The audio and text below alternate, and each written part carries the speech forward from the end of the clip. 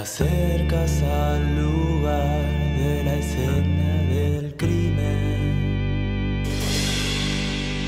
Los factores que parecen estar con la gente que parece bailar con un lente en su mano, un reloj en su bolsillo, sus ideas